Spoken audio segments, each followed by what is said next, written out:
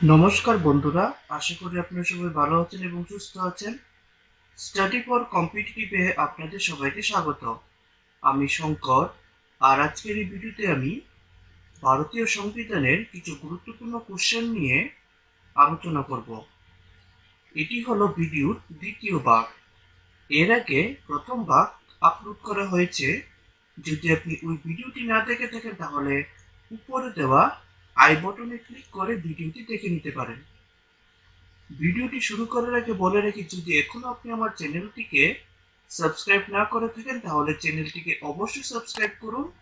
তার সাথে সাথে বেল আইকনে ক্লিক করুন। সো আর বেশি দেরি না করে ভিডিওটি শুরু করা যাক। First question is what is the introduction or preface to the constitution অর্থাৎ সংবিধানের মুখবন্ধ কাকে বলা হয়? এর উত্তর হলো প্রিয়েম্বল অফ দ্য কনস্টিটিউশন সংবিধানের প্রস্তাবনায় সংবিধানের মুখবন্ধ what is the keywords of preamble of Indian constitution অর্থাৎ ভারতীয় সংবিধানের প্রস্তাবনায় সেই কিওয়ার্ডসগুলি কি কি? এর উত্তর সবারই, অর্থাৎ সার্বভৌমত্ব সোশ্যালিস্ট সামাজিকতা, সেকুলার, ধর্মনিরপেক্ষতা, ডেমোক্রেটিক, গণতন্ত্র, রিপাবলিক, প্রজাতন্ত্র, জাস্টিস, নেই লিবার্টি স্বাধীনতা বা অধিকার ইকুয়ালিটি সমানতা এবং ফ্র্যাটার্নিটি অর্থাৎ ভ্রাতৃত্ববোধ। Next in which amendment act the Indian constitution preamble amend অর্থাৎ কোন সংবিধান সংশোধন দ্বারা ভারতীয় সংবিধানের প্রস্তাবনাকে অ্যামেন্ড করা হয়েছিল। এর উত্তর ফোরটি সেকেন্ড সংবিধানী সংশোধন দ্বারা ভারতীয় সংবিধানের প্রস্তাবনাকে সংশোধন করা হয়েছিল এবং ফোরটি সেকেন্ড কনস্টিটিউশনাল অ্যামেন্ডমেন্টকে মিনি কনস্টিটিউশনও বলা হয়। তারপর which three keywords were added after forty second constitutional amendment of the preamble of the Indian constitution ভারতীয় সংবিধানের প্রস্তাবনায় বিয়াল্লিশতম সংবিধান সংশোধনের পর কোন তিনটি কিওয়ার্ডস যুক্ত হয়েছিল? এর উত্তর হলো সোশ্যালি সামাজিকতা সেকুলার ধর্মনিরপেক্ষতা ইন্টিগ্রিটি অর্থাৎ অখণ্ডতা। Next in which articles of the Indian constitution does deal with the union of India and its territory ভারতীয় সংবিধানের কোন দ্বারাই ইউনিয়ন অফ ইন্ডিয়া এবং এর টেরিটরি সম্বন্ধে বলা হয়েছে? এর উত্তর হলো ভারতীয় সংবিধানের পার্ট ওয়ানের আর্টিকেল এক থেকে আর্টিকেল চার অব্দি ইউনিয়ন অফ ইন্ডিয়া এবং এর টেরিটরি সম্বন্ধে বলা হয়েছে। Next in which article does India describe as union of state সংবিধানের কোন দ্বারাই ভারতকে ইউনিয়ন অফ স্টেট বলা হয়েছে? এর উত্তর আর্টিকেল ওয়ানে next in which articles does the Indian Constitution deal with the citizenship? অর্থাৎ সংবিধানের কোন দ্বারাই নাগরিকতা সম্বন্ধে বলা হয়েছে? এর উত্তর হলো ভারতীয় সংবিধানের পার্ট টু এর আর্টিকেলস ফাইভ থেকে ইলেভেন অব্দি নাগরিকতা সম্বন্ধে বলা হয়েছে। তারপর how can Indian citizenship be accord ভারতীয় নাগরিকত্ব কীভাবে গ্রহণ করা যায়? ভারতীয় নাগরিকত্ব গ্রহণের পদক্ষেপটি হলো ফার্স্ট হলো বার্থ অর্থাৎ জন্মসূত্রে তারপর ডিসেন্ট এই ডিসেন্টের মাধ্যমে যদি কেউ ভারতের বাইরে ছাব্বিশ জানুয়ারি উনিশশো সালের আগে এবং দশই ডিসেম্বর উনিশশো বিরানব্বই আগে জন্মগ্রহণ করে থাকে এবং সেই সময় যদি তার বাবা জন্মসূত্রে ভারতীয় নাগরিক হয়, তাহলে সে অনুসারে সে ভারতীয় নাগরিক। তারপর রেজিস্ট্রেশন এই রেজিস্ট্রেশনে কয়েকটি শর্তের মাধ্যমে কেন্দ্রীয় সরকার নাগরিকত্ব প্রদান করতে পারে। তারপর ন্যাচারালাইজেশন এই ন্যাচারালাইজেশনের মাধ্যমেও কেন্দ্রীয় সরকার নাগরিকত্ব প্রদান করতে পারে। তারপর ইনকর্পোরেশন অফ টেরিটরি এর মাধ্যমে ভারত যদি কোনো প্রতিবেশী দেশের টেরিটরিকে দখল করে সেই টেরিটরিতে বসবাসকারী লোকজন ভারতীয় নাগরিক হিসেবে গণ্য করা হবে। তারপর how can be an Indian citizen lose its citizenship কিসের মাধ্যমে একজন ভারতীয় নাগরিক তার নাগরিকত্ব হারাতে পারে?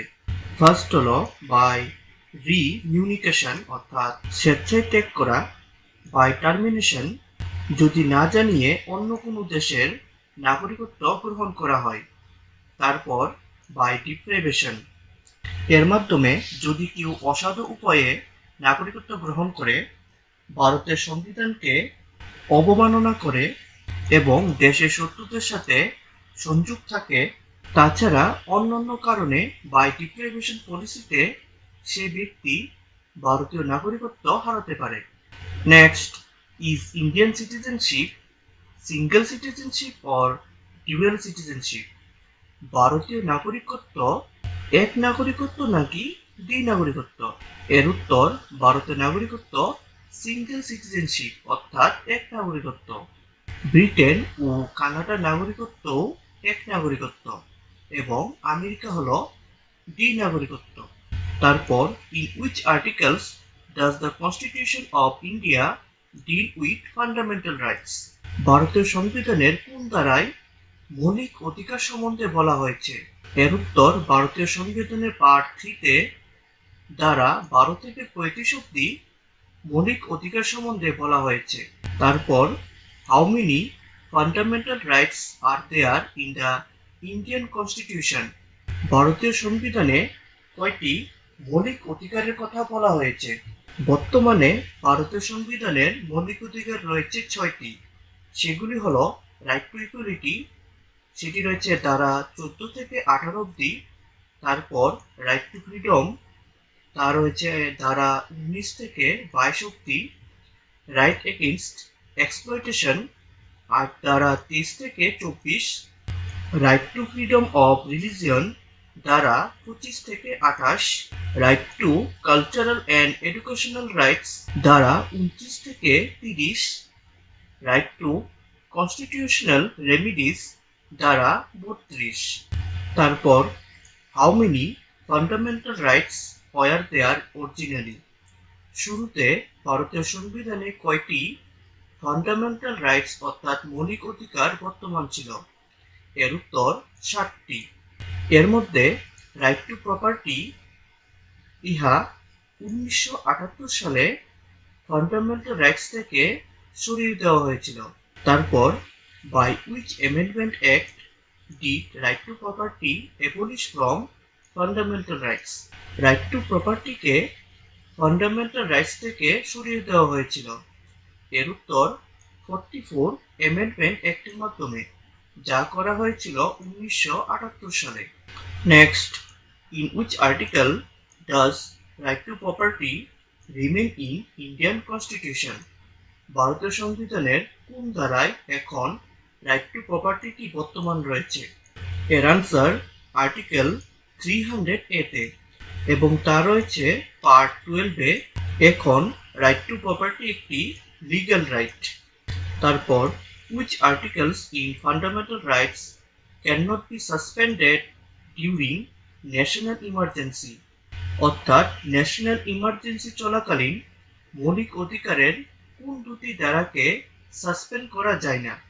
এর উত্তর মৌলিক অধিকারের দ্বারা বিশ এবং একুশ কে ন্যাশনাল ইমার্জেন্সিতেও সাসপেন্ড করা যায় না।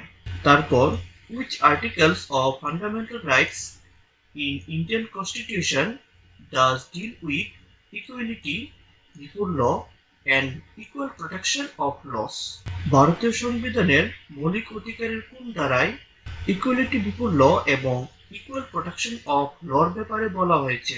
এর উত্তর article ফোরটিনে next which article of fundamental right does deal with prohibition of discrimination on ground religion, race caste sex or place of birth অর্থাৎ ভারতীয় সংবিধানের মৌলিক অধিকারের কোন দ্বারায় কাউকে ধর্ম জাতি লিঙ্গ এবং জন্মস্থান অনুসারে ভেদাভেদ করার জন্য বারণ করা হয়েছে।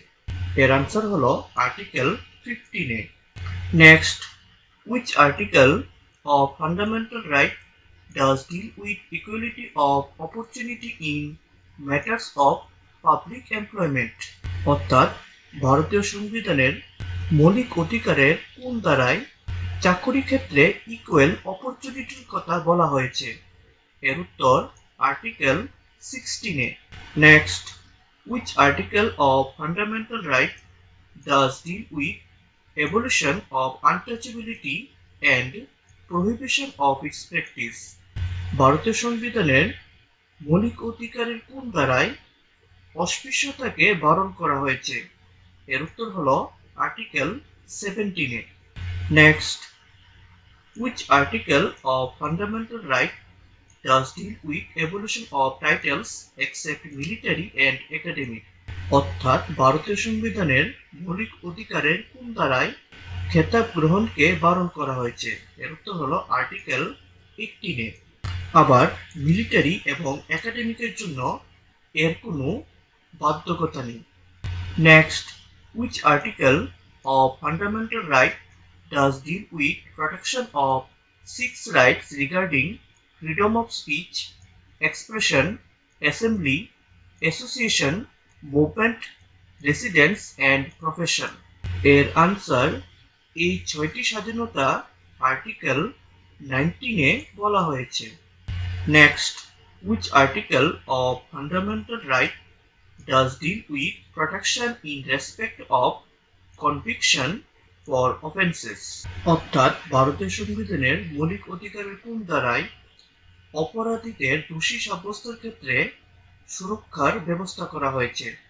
এর উত্তর হলো আর্টিকেল টোয়েন্টিতে তারপর, which article of fundamental right does deal with protection of life and personal liberty অর্থাৎ, ভারতীয় সংবিধানের মৌলিক অধিকারের কোন ধারায় জীবন এবং ব্যক্তিগত সম্পত্তি সুরক্ষার কথা বলা হয়েছে।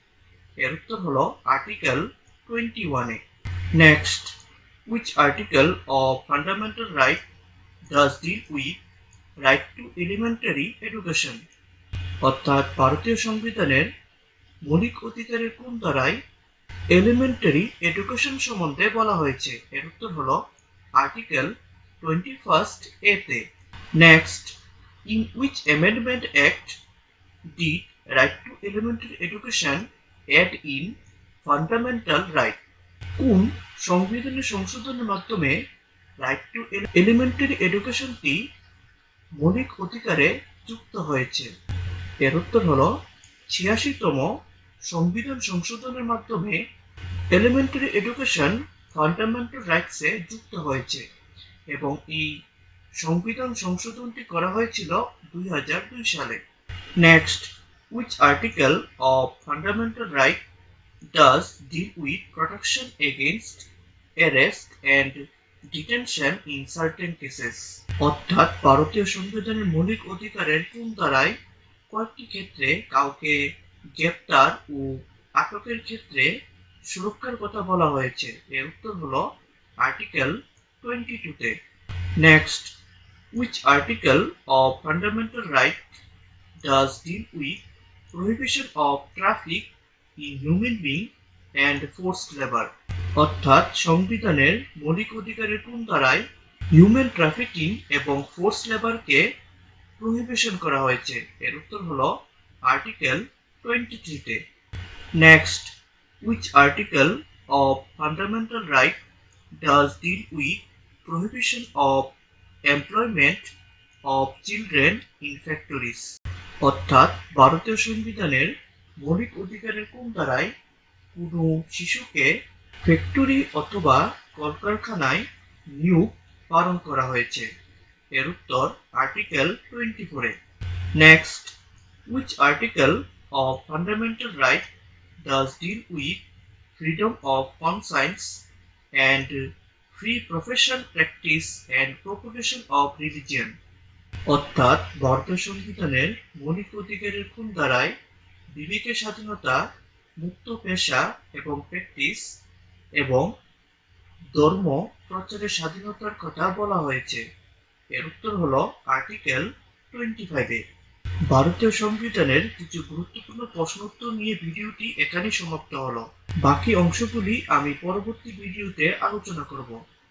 আপনি যদি এই ভিডিওটির পিডিএফ পেতে চান, তাহলে আমার সাইটে চলে যেতে পারেন। আমার সাইটের অ্যাড্রেস হলো www.studyforcompetitive.weebly.com এবং এই সাইটের লিঙ্কটি এই ভিডিও ডেসক্রিপশনে দেওয়া থাকবে। আপনি ইচ্ছে করলে লিঙ্কে ক্লিক করে আমার সাইটে গিয়ে পিডিএফটি ডাউনলোড করে নিতে পারেন। ভিডিওটি ভালো লাগলে ভিডিওটিকে অবশ্যই একটা লাইক করবেন শেয়ার করবেন, আর আপনি যদি এই চ্যানেলে নতুন হয়ে থাকেন তাহলে চ্যানেলটিকে অবশ্যই সাবস্ক্রাইব করবেন। ধন্যবাদ।